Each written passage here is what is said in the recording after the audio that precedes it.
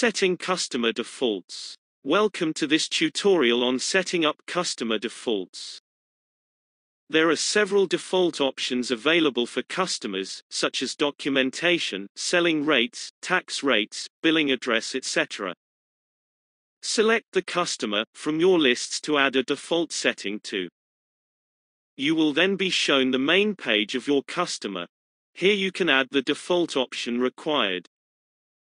Select the Edit option, as indicated. For documentation such as job sheets, quotes etc., scroll to the bottom of the screen.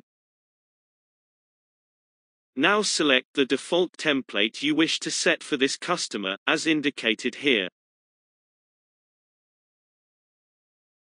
To set a specific tax rate use the tax rate options, as shown. Selling rates for the customer can also be added from the details page. For billing address select this from the tab at the top of the page. Here you can add a separate billing address for invoices if required. From the Invoices tab, you can set a customer's payment due and terms, if required.